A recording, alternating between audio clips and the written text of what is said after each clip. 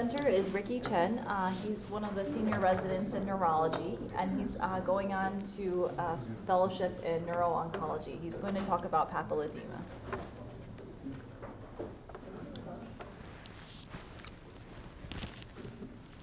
So thanks for having me here. I'm um, going to share with you a interesting case of papilledema that I saw in neuro-ophthalmology when I rotated last month. Um, so this guy was a um, young man uh, from the Marines in uh, Washington, D.C. He presented um, to us two weeks after having developed uh, binocular diplopia. Um, and he recently had uh, been discharged from a military hospital um, in Washington back to Utah to recuperate from viral meningitis. But he was very nonchalant about it, just said, you know, I had a lot of headache and that all got better. And um, they gave me some um, symptomatic treatments, and uh, I was doing really well, but then um, developed a diplopia.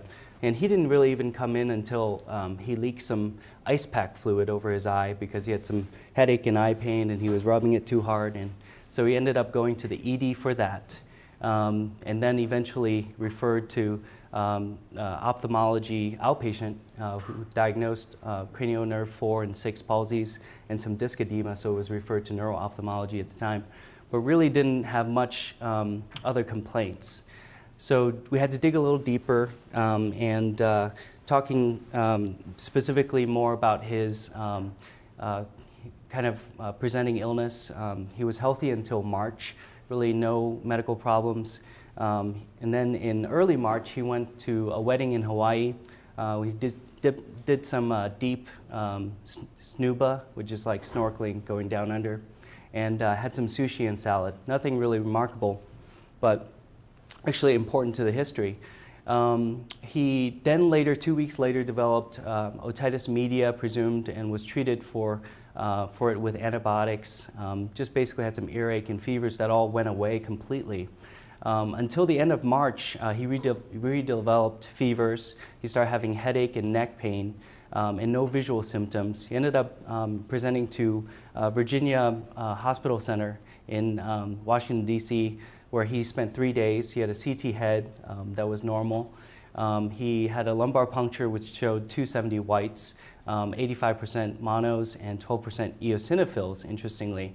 Um, they didn't really comment on this. The only test they did was uh, EBV and HSV PCRs, and those were negative. Otherwise, they didn't do glucose or protein um, per the records that we found, and um, culture was negative. He also had some peripheral eosinophilia, only 4%, um, mild leukocytosis, and uh, they checked influenza, uh, which was negative. Um, and so they gave him a diagnosis of presumptive viral meningitis, gave him some tramadol and Zofran, sent him on his way back to Utah to recuperate. Um, and uh, he was in uh, getting better over a week until he developed this uh, diplopia, which um, he described as both vertical and horizontal um, images. Uh, it was binocular and uh, rotated relative to each other, worst on left lateral gaze. His vision was otherwise crisp and good color and depth perception. Um, his uh, headaches and eye pain overall, like I said, had improved. He no longer was having fevers. Um, and no other significant past history or medications. On examination, we found that he was uh, 20, 20 on the right and 20, 25 on the left. Um, his pupils, aside from uh, mild anisocoria, which is slightly greater on the left, um, no RAPD was found, uh, both briskly reactive. Um, his visual fields were full. Um, his extraocular movements, uh, motility was pretty abnormal. He had um, bilateral abducens palsies, um, worse on the left gaze. And then he had significant esotropia up to 30 diopters, um, and uh, also a left hypertropia of two diopters, mild right head tilt. Um, the remainder of his exam intraocular pressures, um, uh, anterior and posterior chambers were normal. Um, and the remainder of neuro exam uh, were normal, including reflexes, sensation, no weakness. Um, his visual fields showed a enlarged blind spot and some scattered, kind of subtle um, deficits, but uh, overall not too bad. Um, and uh, on a fundoscopic exam, he had pretty severe papilledema, grade 3 to 4, with cotton wool spots and microhemorrhages. Um, so then we were pretty concerned. This guy just recently had viral meningitis. They didn't really do a full workup, so we sent off to repeat the LP, um, expecting, you know, could this be um, uh, a worsening condition? His, his headaches weren't that severe. They weren't even really that positional. Um, but he did end up having um, increased ICP. He also had increased uh, white count of 500 um, with 61% eosinophils, which is markedly abnormal. Um, his MRV, which we did to rule out venous clots, was normal. And the MRI brain, I'll show you, had some uh, pretty significant findings. Um, his FLAIR uh, showed these um, abnormal uh, regions of hyperintensity uh, near the perivascular spaces, and these were nodular enhancing. Um, you can see on the gadolinium. Um, kind of multifocal spots, also included in a little bit in the midbrain, uh, more subtle. Um, and then he had optic nerve uh, T2 signal as well as some enhancement. Um, there was no stroke or other hemorrhagic um, findings. Uh, he later underwent also a CT scan that showed some peripheral ground glass. Uh, the radiologist read it as possible aspergillus or some other fungal infection. So this was pretty concerning. Um, obviously, he ended up spending more than a day in neuro-ophthalmology. He ended up going to neurology for um, two weeks and with an ID consult. Um, I won't bore you with all the details because this is a short talk. He had everything drawn. Um, and he had serial LPs. His pressures would range between 28 to 40s, um, and his uh, white count was between uh, 2 to 400s, uh, with persistent eosinophilia, again up to 61%. Um, this really kind of persisted throughout his course, except the pressures would get better uh, after a drain, and then um, the next day he'd build up more, uh, more headache again, um, and then his pressures would go up again, and they'd drain it. And this went on for a long time. Um, ID really didn't recommend any uh, treatment for this, but we had kind of suspicions of what this could be. On the differential also was um, kind of cardiac uh, vegetations, um, possible vasculitis. Um, they did have other uh, imaging modalities, CTA head and neck, echo, abdominal ultrasound were all normal, ruling out any vasculitis. Also, hepatic infection was ruled out and um, no evidence of uh, vegetations. The CT chest, as I mentioned, and then finally, because we don't have the test to really do the confirmatory testing for this uh, parasite, we ended up sending it to CDC. Um, so this is the, the actual culprit was um, it's the number one cause of eosinophilic, meningoencephalitis in the world. Um, it's a nematode worm. Actually was discovered in my hometown in Canton province, China. Um, in 1935, uh, Chen um, found that this was a worm that was seen in um, the pulmonary arteries of rats. Um, the first infection was um, diagnosed in uh, 1945 in Taiwan. And so it's a worm that can uh, usually live definitively in rat um, and then um, through fecal transmission it goes into mollusks and snails.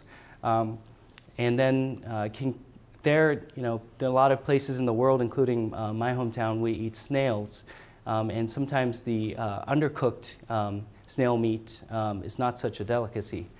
And the uh, you can get transmission through that as well as through um, leafy greens that are contaminated by snails. Um, and then they can also go into other hosts and seafood.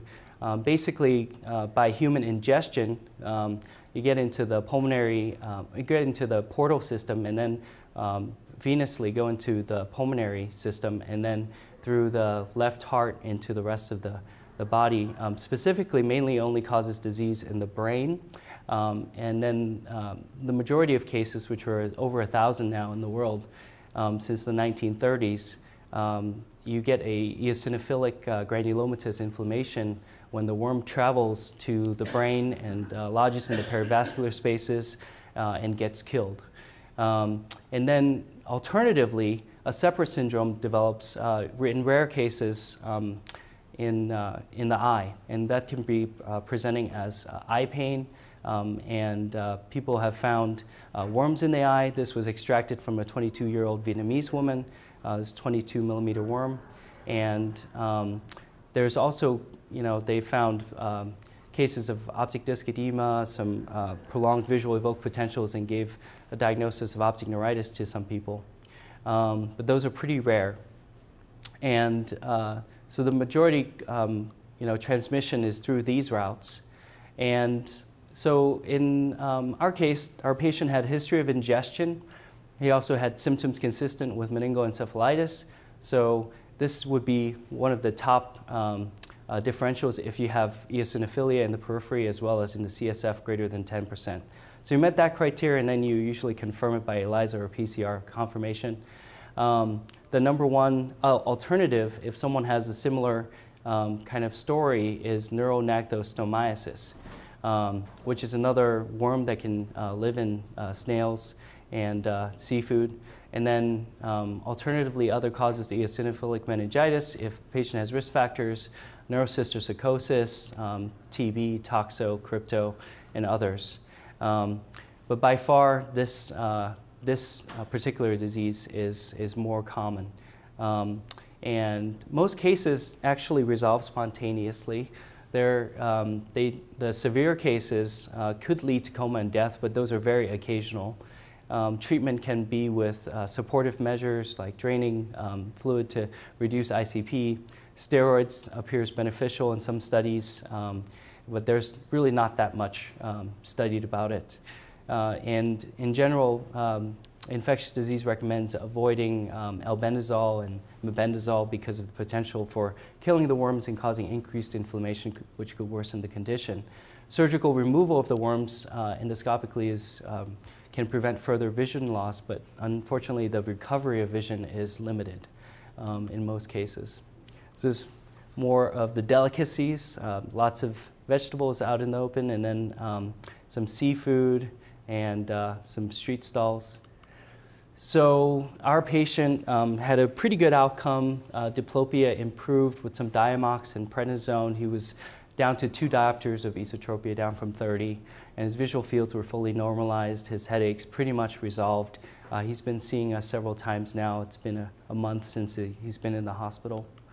Um, so take-home points from this case is that um, you know, it's really important when you have a case of papilledema to uh, look for alternative causes um, and uh, you might find something special in the CSF. Um, that's something to take home from this case and really digging deeper into the history. And um, as they say, beauty rests in the eye of the beholder, or there could be parasites there as well. Any questions?